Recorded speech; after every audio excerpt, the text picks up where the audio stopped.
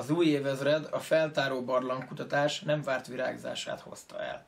Hazánk természeti értékei többek között 25 méter átmérőjű föld alatti tavakkal, 50 méteres termekkel, 4 méteres cseppkiosztopokkal gyarapodtak. Barlang feltárása vagy felfedezése alatt azt értjük, hogy behatolunk egy olyan járatba, ahol még senki nem járt korábban.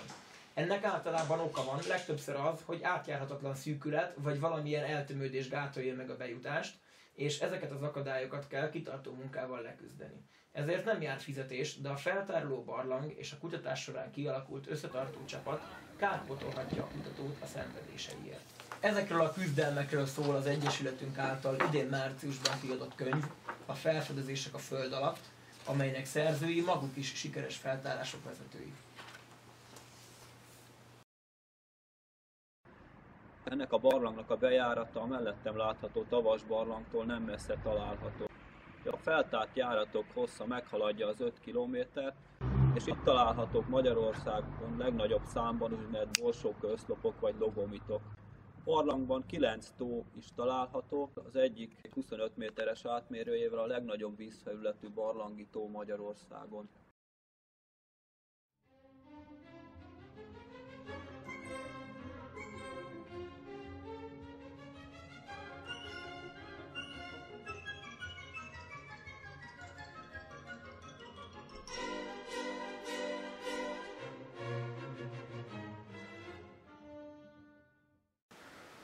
Tehát a budai Lukács fürdőnek a vizét a Molnár János barlang adja. Sikerült majdnem 6 km új barlangjáratot feltárni, ezzel a Molnár János barlang világviszonylatban híres lett.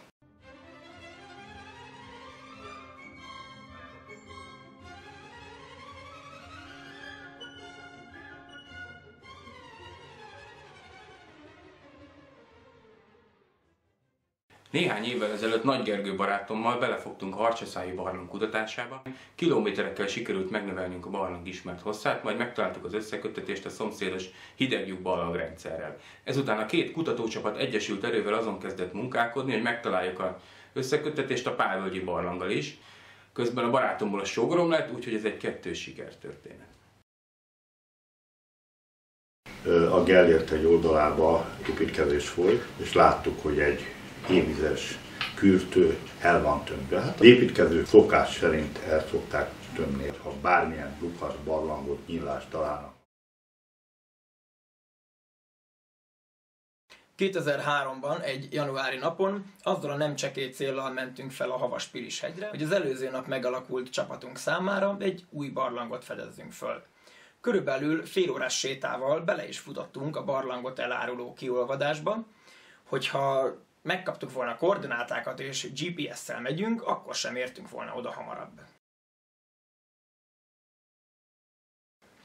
2007-ben vettük észre egy kollégámmal, hogy a 13 méteres Vacska barlang egyik pontján határozott húzat érezhető.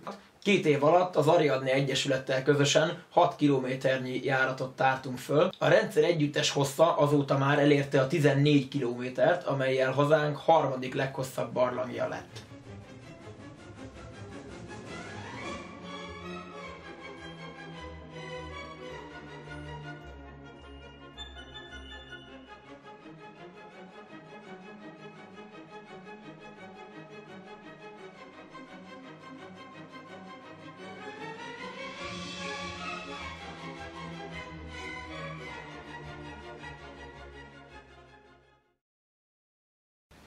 ...2011 nyarán a Piliszent kereszti szurdokban néhány követ a mederből kiemelve aktív, lefelé menő patakos járatot fedeztünk föl. A barlang jelenleg olyan 80 méteres mélységig nyúlik lefelé, a feltárása folyamatban van. Elújságoltam egy bükki barlangkutató cimborámnak, Sűrű Péternek, hogy húzatot találtunk ennek a barlangnak a végpontján, és ezt átvésve egy, egy hatalmas aknarendszerbe találtuk magunkat, amit már törpilla aknának neveztünk el. Négy év munka után idén áprilisban elértük a 275 méteres mélységet, ami az új magyar rekordot jelentette.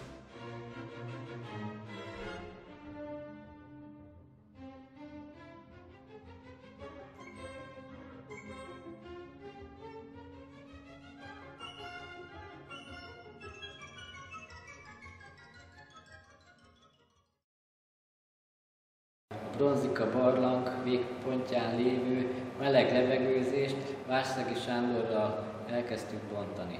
Nyolc napi munka után bejutottunk a barlang cseppköves tágas részeibe.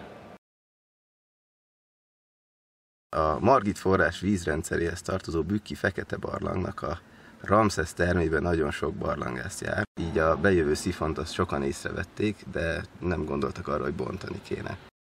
Aki szeretne még hasonló feltárásokról olvasni a jövőben is, az vásárolja meg a könyvet, ezzel is a kutatásainkat támogatja. Megrendelhető a földalap.hu oldalon, illetve kapható a Lira könyvesboltokban, vagy többek között a Speleus sportboltban.